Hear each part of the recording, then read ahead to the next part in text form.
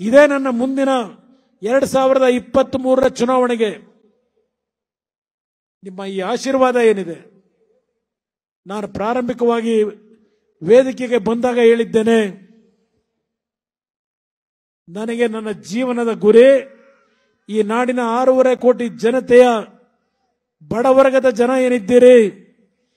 ಇಲ್ಲಿ ಎರಡು ಕಿರುಚಿತ್ರಗಳನ್ನು ಇವತ್ತೇನು ನಿಮ್ಮ ಮುಂದೆ ಇಟ್ಟಿದ್ದೇನೆ.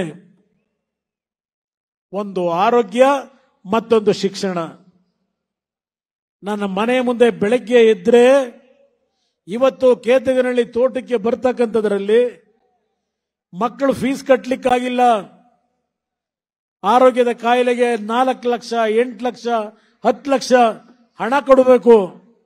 ದಯವಿಟ್ಟು ಸಹಾಯ ಮಾಡಿ ಅಂತಕ್ಕಂಥ ಕುಟುಂಬಗಳು ಪ್ರತಿದಿನ ಹದಿನೈದು, ಇಪ್ಪತ್ತು ಜನ ಬರ್ತಕ್ಕಂಥದ್ದು ಏನಿದೆ? ಎರಡು ವರ್ಷದ ಕೋವಿಡ್ನ ಅನಾಹುತದ ಸಂದರ್ಭದಲ್ಲಿ ಹಲವಾರು ಪುಸ್ತಕಗಳನ್ನು ಓದ್ತಕ್ಕಂಥ ಹವ್ಯಾಸವನ್ನು ಬೆಳೆಸ್ಕೊಂಡಿದ್ದೆ. ಪ್ರತಿನಿತ್ಯ ನನ್ನ ಜನರ ಬದುಕನ್ನ ಯಾವ ರೀತಿ ಸರಿ ಮಾಡಲಿಕ್ಕೆ ಸಾಧ್ಯ?